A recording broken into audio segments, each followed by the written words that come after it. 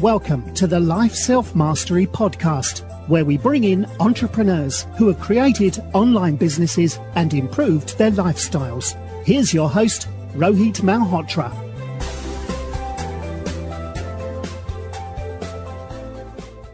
Hi everyone, this is Rohit from Life Self Mastery. Today I'm excited to have Michael McFall, who's a co-CEO of Biggby Coffee, which is the US third largest coffee franchisee, and he's the author of the book Grind. Uh, um, is also an alumni of Kalamazoo uh, Coffee and uh, Big Uh, Biggby Coffee has more than 230 locations, which he co-founded uh, with Bob Fish, who's the founder uh, of, of the coffee chain. Welcome to the show, Michael.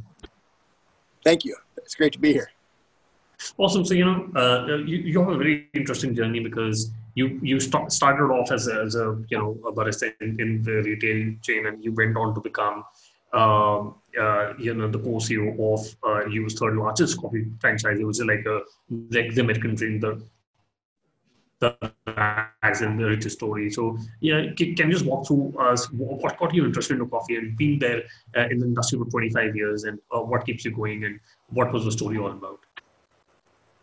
Yeah, well, you know, um, when I when I got into the business, I started as a as a what we minimum wage barista uh, and I was I was working in the store from open until 2 p.m. I had a position at the university uh, in East Lansing, and I was on a research project. And frankly, I was just I was just preparing to go back to graduate school. And so, but but but what happened is, I fell in love with the business. I fell in love with showing up to work every morning and preparing coffee for people. And people would walk in, and it was it was an honor to engage them and to um, serve them a cup of coffee, but also to send them out on their day uh, with a little extra uh, positive energy, a little extra skip in their step, right? So, so that was that was uh, how I became interested in the coffee business. Is I loved going to work inside of the store, and and then we ended up. Uh, I didn't own that first store. I my my business partner Bob Fish owned that first store. He and I started a conversation about getting me more involved in the business. And you know, the the uh, the legend goes that he was interviewing me to take a position as a manager within the business, and we ended up going for a walk. And we went on about a four-hour walk uh, around East Lansing, Michigan. And at the end of that walk, we shook hands and agreed to start an enterprise to grow the business and grow the brand. We weren't sure what that was going to look like. We weren't sure how we were going to proceed, but we were committed to uh, each other and we were committed to growing that business. And so we did form an entity. Uh, that would have been, that walk would have been in March of 1997. Uh, we did form an entity in June of 1998. Uh, we became legal to franchise the company which was ultimately the decision we made on how to grow. The business model was the business model we chose was franchising, and we became legal to uh, to franchise in January of 1999. Uh, and you know, we just started working with people and uh, signing contracts and opening stores, and that's what we've done ever since. Um, and you know, there there was a moment where we owned stores and we were franchising stores at the same time. Ultimately, we decided to sell all of the stores that we own, and then just focus in on the franchise entity. Oh, very interesting.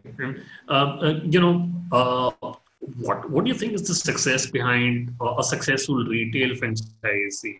Uh, since you don't own uh, uh, own the properties, you know, how do you how do you control the the customer experience? You know, I, I work for a for a for a hotel marketplace called OYO Rooms. And, you know, when you don't own the customer experience, you know, there's always problems. Obviously, the problems here in Southeast Asia and Asia are very different from there in US, where people are a lot more conscious about customer experience. So, so what, what, uh, you know, what would be your uh, thoughts on building a successful, uh, you know, franchise retail chain?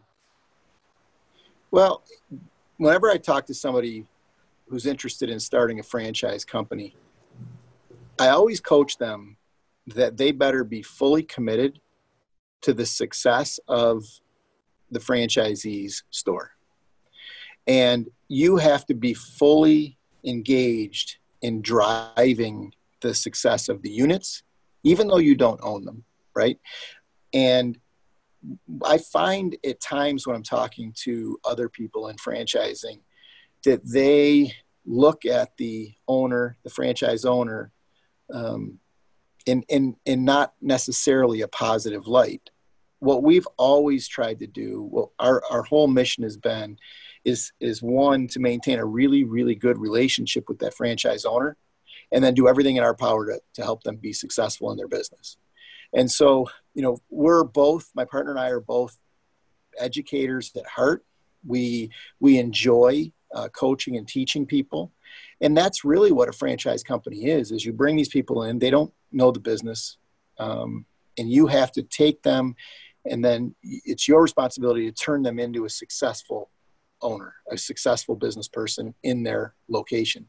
And so if you aren't an educator a mentor a coach at heart the franchise business is probably going to be difficult because you can't you can't run a franchise and be um, in a dictator you know like it just doesn't work because you have all these independent business owners that they are they'll do their own thing if if you're not you know if you're not with them and supporting them and so on. So i think the key to the success of building a franchise company is that mentality of your your sole effort has to be in making them successful. If you make the unit successful the franchisee successful then your company will be successful there's never been a franchise company in history that became successful without the units being successful. it just doesn't work, right? Right, right. Interesting. And I wanted to understand, you know, what, you know, who's who, what, who's your audience? You know, who, who are you targeting? I think before the call we talked about you majorly been there in Midwest, uh, you know, part, part of US, and you're looking to expanding into other areas. But uh, but who's who's your audience and what are the sort of products that you that you uh, uh, that you sell on the, these particular? So the audience for the retail location. Yes. Well, what we've been able to do successfully is we have created a brand that is that that what we what we're trying to be is we're trying to be right in between let's say Starbucks, which is a fairly pretentious brand, and then McDonald's, which is might be considered a, a blue collar brand. And what we're trying to do is we're trying in the specialty coffee space, we're trying to sit right in in the middle of those two uh, those two brands and feed off of both sides. So if somebody's going into McDonald's every day and they walk into a Biggby Coffee, they're going to be very very comfortable. It's going to it's going to feel natural and so on. But but similarly somebody can walk in from a starbucks walk into our concept and again it's going to make sense. They're going to understand it. And and so we're a very um, you know we, our brand caters to everyone. And we're kind of the we're, we're the we're the uh, specialty coffee for everyone for middle america. And you know starbucks has done very very well capturing the, the sort of high end market you know that that's what they do uh, but we're, what we're going to be is we're going to be the coffee for for everybody Interesting. And you know, I wanted to understand what, what are the sort of numbers that you've done uh, uh, uh you know, last year, especially, or uh, possibly you can talk about this year as well. And uh, uh, you know, what is the what is the average revenue per outlet which which comes for Biggby Coffee? You know, we we um, the the average revenue right now is 607,000 US um, per year. Got it. And, and so that's that, oh, oh, $670,000, is it? Yeah, 607, 607. Yep. Okay, got it, got it. And, um, uh, you know, uh, we, we're recording uh, uh, here during the middle of the COVID times, and I, I, things are definitely opening up. But but how how how things um, you know shaping up at uh, uh, at your company? You know, what are you doing uh, uh so that you know the morale of the of the of the employees are there, and you know, uh, uh, have you seen an improvement in the last couple of weeks since you know the, the com- country has opened up? Well, you know, Michigan was one of the very first states in the United States to get hit with COVID. So it was New York and it was Detroit, Michigan. And, and so they both got impacted really dramatically, really early. And so our state locked down quite aggressively early on. And, you know, we, we saw a, a, a, sizable decrease in revenue. We were we were down 38% at one point over last year, and but what we've been able and so that took it. We that was like three weeks into it is when we we were at negative 38%, and then we've slowly been climbing back. On Mother's Day here in, um, uh, in the United States, which I think was May 11th, we we hmm. crossed over that week we crossed over into positive territory from last year and then we've been slowly growing it ever since the last three weeks have been um, over 20% growth year over year and you know going into covid we were we were in the 14 to 17% growth rate range um, week you know comparable sales so right now the last three weeks anyway we've been growing more aggressively year over year than we were going into it. You know, I think one of the things that that was the hardest part of all of it was the health and safety of the people working in the stores. And so we focused that was our that was our sole focus for um, you know a month was to make sure that we were putting policy and procedures in place to make sure that the staff was safe and and could work in a healthy environment and so you know i think that effort early helped us uh, with keeping staff and so on. And then it's it's what's compelled our growth moving forward. Interesting, got it. And um, you know, I wanted to understand, you know, uh, when you, you know, what are, what is the secret behind scaling, uh, you know, from one chain to 250 uh, plus stores? Uh, you know, a lot of people uh, in India and you know Asia also tried to do that. We've had stories about uh, Luckin Coffee in in China, uh, who tried doing that, but they had a, a, you know IPO, but now you know there's a lot of say that you know the numbers were, were all wrong. Um, you know, so you were able to scale up, that up in, in, in 20 years, but but what is the what is the secret behind uh, running a profitable uh, you know venture like that? Uh, and you know, any any any thoughts for Asian market where you know you know the the coffee and tea culture is, is really growing among the millennial generation? Well, I think one of the things that we learned early on, at least in Southeast Asia, so we have stores in Indonesia right now, um, and that's where we're building. Uh, our contract is for Malaysia, Thailand, Singapore, and uh, and Indonesia. One of the things we learned very early on in Indonesia was is that food was going to be a bigger factor than um, than it is here in the United States. So so we had to um, be more flexible with uh, the food category and that food was going to be a much more significant part of sales uh, than it is here in the United States. So that's one of the one of the major learnings. The other thing, at least in Indonesia, is retail is very different. So um, you know it's re- very much mall based, and that's that's not the way it is here in the United States. And so you know you don't have these. You know we have a we have a strip center retail location basically on every corner and so that's the strategy for building coffee shops. And so in in in Indonesia anyway, these malls they're they're like um, they're like they're huge environments and the rent is very expensive and and and so and the spaces are, are larger than we're, we're accustomed to so you know that's but the the flip side of that coin is is they generate just an incredible amount of people. like there's just it's a ton of people walking into these places. So you know, it's uh, that was a little bit different. Um, I'm really leaning on and depending on our um, our owner there uh, to help us figure out how to tackle the um, the, the business. And he's a really conscientious guy. He's been in uh, retail food service his whole life. He's built the, he's got the largest um, uh, burger chain in, in, in Indonesia. It's uh, A&W. So A&W, he owns, he, he himself personally owns, I think, 250 A&W, very successful A&W root beer uh, stores. So um, he knows what he's doing, and he's gonna he's gonna help us walk through and figure out the right things to do with the concept in order to tackle that marketplace. Uh, and, and when, when you get into partnership, you know, you know, like you talk about in Indonesia, do you go of, uh, you know, uh, a split of 50, 50% or, you know, uh, what, what, what are the kind of uh, business relation that you get?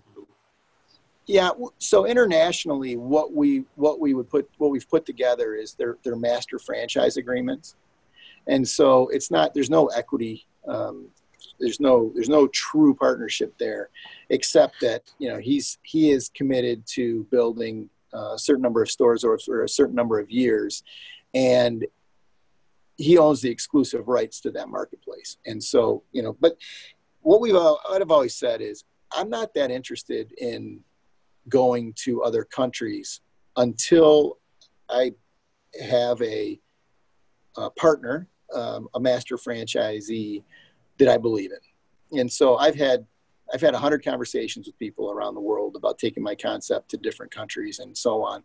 But until I believe in that person, um, there's no moving forward, you know. And so the relationship and who that who that individual is is what is absolutely critical uh, to us. Very, very interesting. And uh, you know, Michael, I, I quickly calculated. I think you're doing around 150 million dollars uh, of of revenue a year. Uh, and, uh, you know, how do you how do the founder and entrepreneur uh, you know look at a revenue generating mindset because uh, you've been quietly building uh, the, the, the business in US and it's massively successful you know doing 150 million dollars worth of business a year what, what is how how does you know an entrepreneur look at you know really scaling it up and having a mindset that he is able to you know scale it up and be as successful as you guys well, you know, I think one of the things that that my partner and I are that we're very very similar in that building the business for us is is not about um, a different lifestyle outside of the business. We both live sim- pretty simply. Um, we don't we don't have toys. Uh, we don't have second homes. We don't. Uh, we're we're we're both really close to our wives and our families mm-hmm. and and that's and so building the business it's like a game it it's scaling the business is the value we get out of it by the excitement and the energy around it and uh, it isn't necessarily I, I think for us um, we're just trying to get more successful at playing this beautiful game called business you know, and it's the most complex, interesting game in the world, in my opinion. And so we're always hmm. strategizing about how to grow and what we can do and how can we get better. And, and so the act of improving and scaling is what's motivational to us. And so I'm, I, I spent the last four days really in, deeply engaged in a conversation about starting an enterprise that would finance our stores. And so you could step into our world and open a store and then we would we would lend you the money to start the, the business. And so like it's gut wrenching and it's difficult and it's hard to to to get my mind around doing that but that's what's exciting you know that that's that's the value. And so you know i i think um that's what keeps us going and i think a lot of successful entrepreneurs that i know it's really about it's about the game. It's about the excitement. It's about the adventure of it all. It's not necessarily about, you know, buying a third home and you know some vacation spot or something. You know. Interesting. Right. And uh, you know, before the call, you also talked about you, you, uh, you know, you're educator and heart, and you uh, uh, do teach a class at University of Michigan, and uh, uh, and also you you're building a uh, building something called Life Lab, which is about building you know a, a culture, uh, a loving culture inside work workplace. So, um, so you know, can you talk a little bit more about Life Lab and what what is the purpose behind it? Well, you know, um, we it was about five years ago that we had an, an epiphany uh, that we were growing the business. Uh, it was growing pretty rapidly, uh, and there became this moment where, you know, adding one more zero to our income statement or to our tax return just it was it was it wasn't going to be fulfilling anymore and so and at that same time we were beginning to realize that our culture and our, inside of our organization was sick.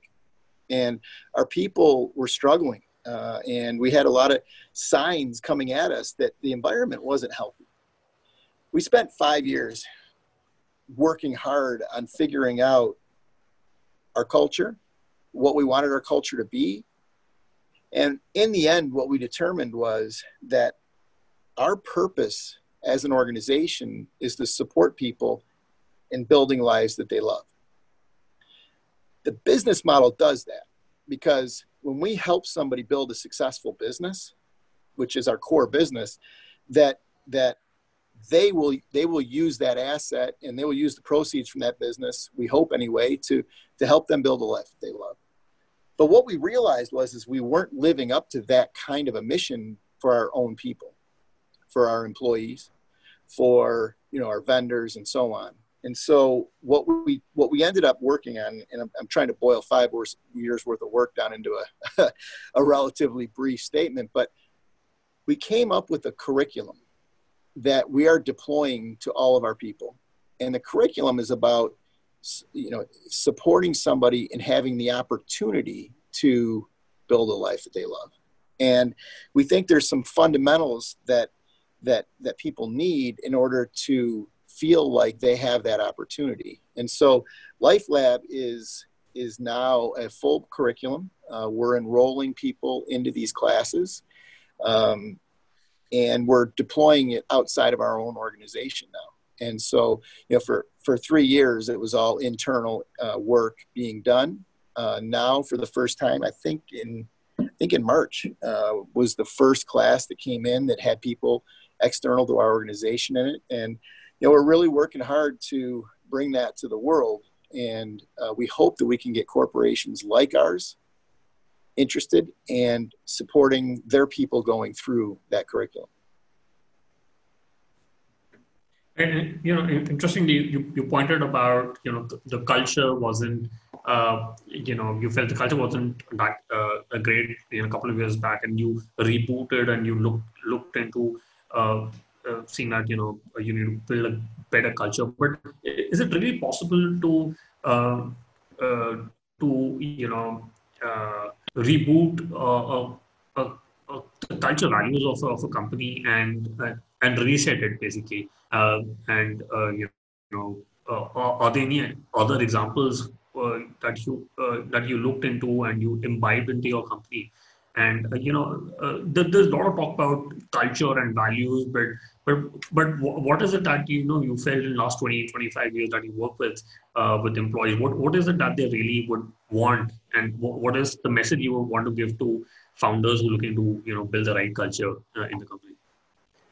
Well i think you know what we uh, so so to sum up what our culture was like before this you know, it was kind of one, it was a situation where it was kind of like a, an unhealthy, um, almost abusive relationship between two people. I mean, our, our organization took advantage of people. We worked them like crazy, you know, and, and I don't have guilt around that because, you know, we were, we were a startup.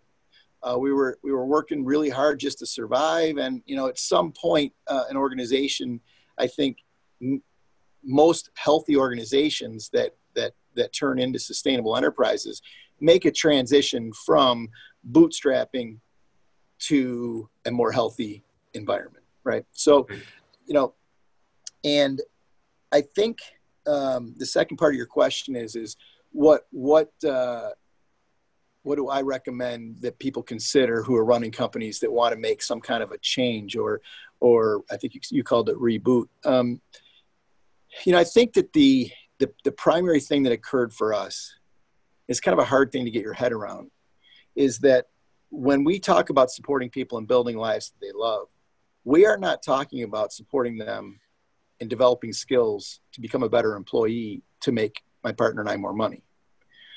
What we're talking about is supporting them in building a life that they truly love. So, what that means is some people are going to leave us, and we're going to support them in leaving us to go pursue this other this other life this other passion that they have. And we know that right? Going into a lot of the conversations we know that that if this per if we can support this person in pursuing that that perfect life the life that they that they love that means they're going to move on. For example we have a woman in our, our business who's just you know, she's tremendous. Uh, we love her. Her her ultimate her ultimate passion is to start a cupcake company. And it's like, well, great. And by the way, we could partner, or you know, we could be a customer of yours and buy a lot of cupcakes, right? so, so when people leave and pursue their passion, that they are still supporters of our business when they're gone. But here's the real magic: those that stick around and decide our company is the avenue they want to pursue in order to build the life that they love, they are going to be incredibly powerful people for our organization and for the world.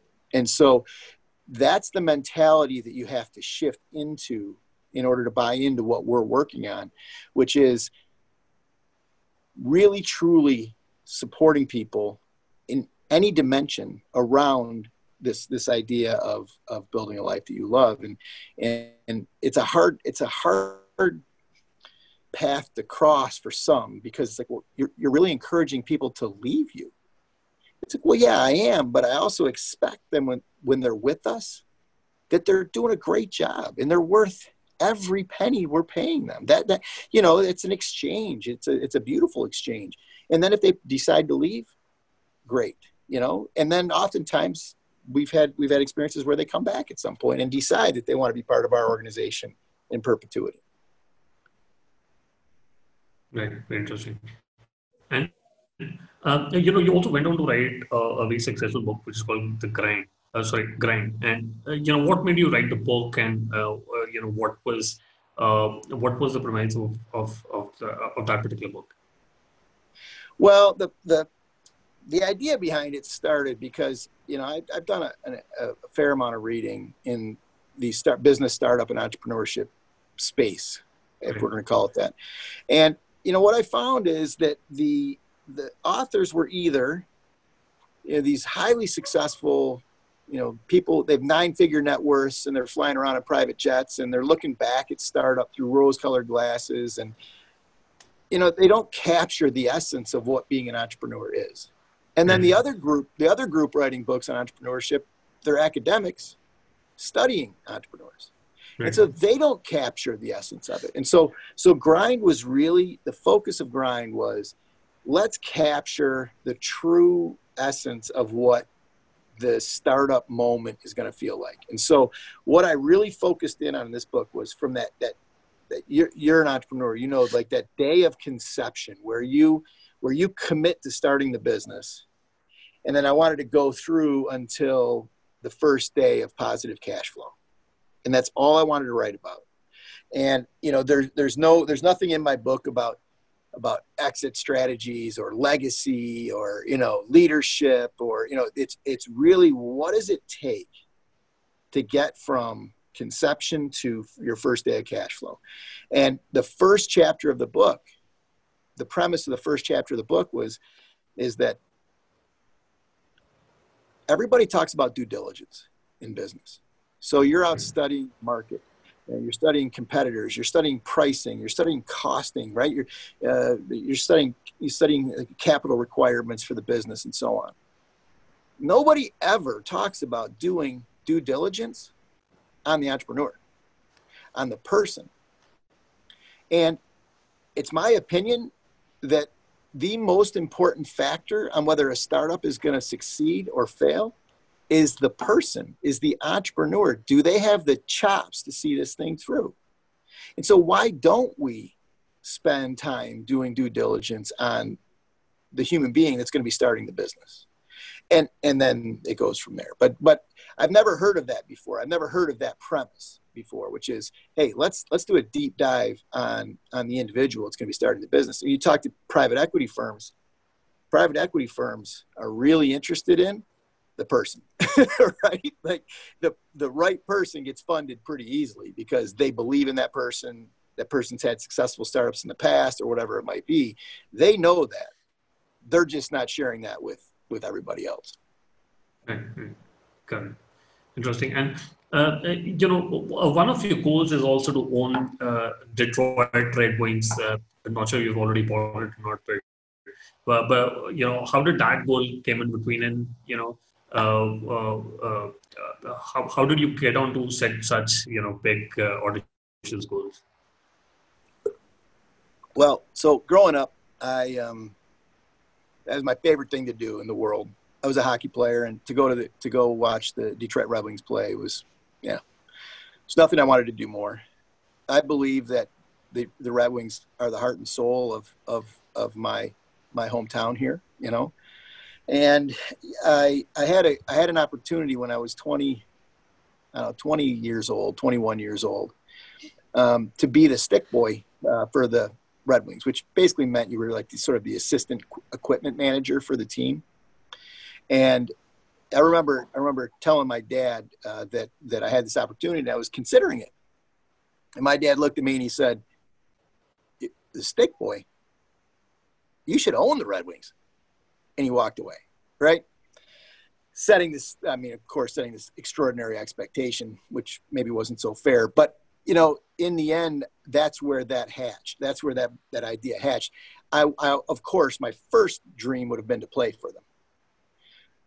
I clearly wasn't good enough to play for, you know, one of the best hockey teams in the world. But, um, you know, and and so then the next, well, then the next thing to do, the next coolest thing to do would be to own them and so uh, that's where that idea came from. And you know it's it's uh, it's really a um, to me i think it, um, you know from you're familiar with ted turner who started cnn yes. yeah his dad his dad coached him. I, I read his biography recently and his dad coached him. That the number one piece of advice he gave ted turner was most people don't set their goals high enough.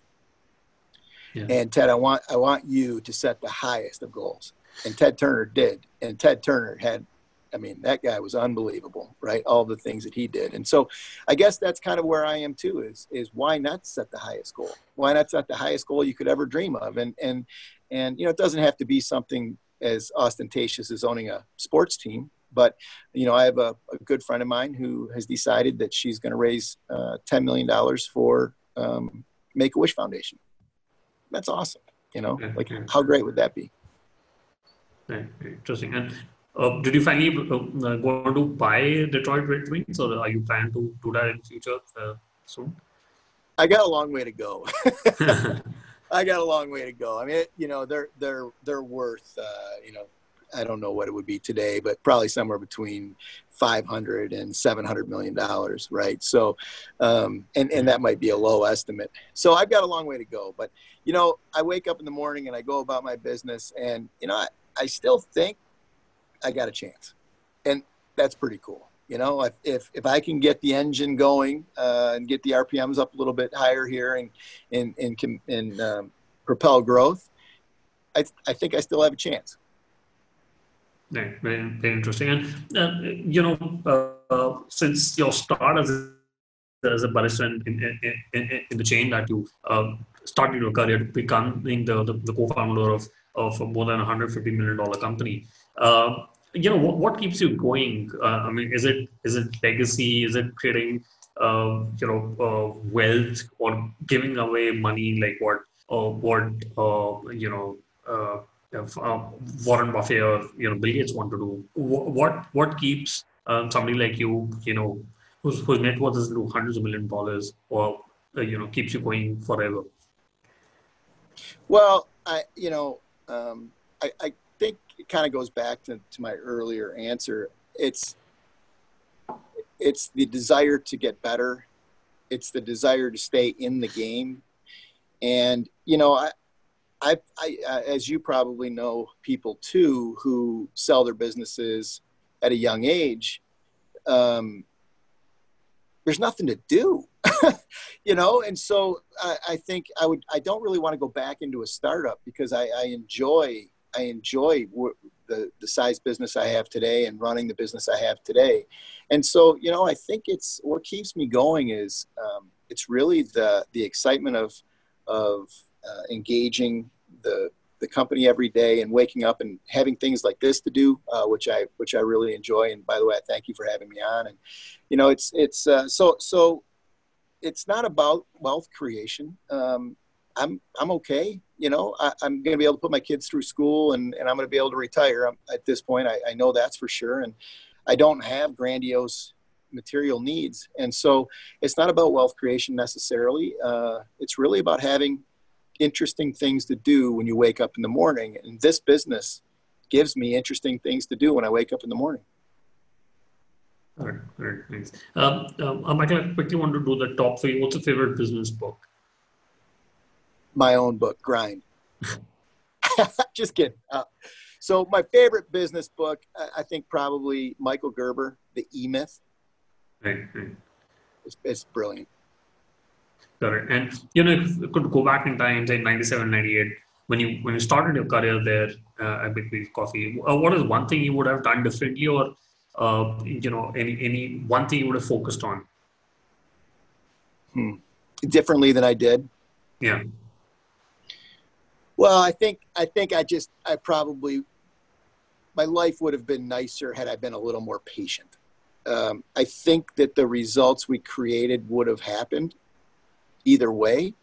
I was just really impatient, and and that just means I was unsettled and I was always always striving and, and grinding as hard as I could and maybe that's what created the business. I don't know, but but I, I, I wish I could have been a little bit more patient and, and understand that the the results results will happen. You know, uh, nothing happens as quickly as you think it's going to. Nice. And, do you have any favorite online tools, for example, Gmail, Slack, Zoom? Well, I mean, I'm married to Zoom now, right? I mean, we all are. Yeah. Um, and, and it's been, it's actually been, uh, it's actually been better than I would have imagined. Uh, Right. And so I, I act, you actually can create a connection with people uh, through a computer screen, which is, which is my, you know, my, my kids have been telling me that for years and I never believed them, but, but you can. Uh, you know, a favorite tool for me, I, I would have to say Office 365, Microsoft's new suite. Right. It is really powerful, and so the the document sharing capability, um, the, the the virtual meeting capability where you can share documents. It's it's that has been, oh my gosh, and we you know we just deployed that internally like January, and so we we got we just barely squeaked in before the COVID thing happened, and so um, but if you haven't if you haven't used 365 Office 365, it is it is it is really a powerful powerful suite of software. Yeah, that's a, that's an amazing tool. Uh, you know, we'll, we'll put that in the show notes. Uh, so, Michael, what is the best way people can uh, know about the book Grind, and what is the best way people can reach out to you? Well, make sure. So it's, the book is uh, the website is grindthebook.com. But give me like 48 hours because I'm just rolling out a new. Uh, I'm taking the blog from what's called the blog to the classroom, and it's it's just way better. And so if if I think we're going to deploy it, I hope in the next 48 hours. I've been working on it for about a month, and so um, but grindthebook.com is where where we're uh, where where all that information is. Yeah, and uh, you know, what is the best way people people can reach out to you uh, if you're there on social media? Uh, you know, probably the best way to reach me is is, you know, I mean, I I do text, right? So I have my phone number in the book, uh, and people are people are texting me, and and so you know that's the most efficient way. Um, and at this point, it hasn't gotten overwhelming enough where I can't handle it. But but you know, LinkedIn is great, um, and uh, and texting. So my phone number it's uh, 517 388 1444 and uh, that that'll come right to me. My my phone's right here in my pocket, and and you know I get a couple texts a day, and they're fun, right? And and uh, and, we I've talked to a few people too, and and I remember when I got my first phone call from a reader, it was just a, it was such a cool experience, you know. Amazing. You know, uh, we'll we'll uh, put the numbers on the on the show notes as well. Uh, all right, Michael. Thank you so much for for taking our time and speaking to us. I really enjoyed speaking to you and uh, you know uh, knowing about your story, and it's been a very inspirational podcast for for me. Oh, thank you so much. I, I'm I'm just uh, honored to be here, and it was a great interview. You did a great job. Thanks for listening to the Life Self Mastery podcast, where we teach you how to start and grow your online business. For more information, visit Rohit's blog at www.lifeselfmastery.com.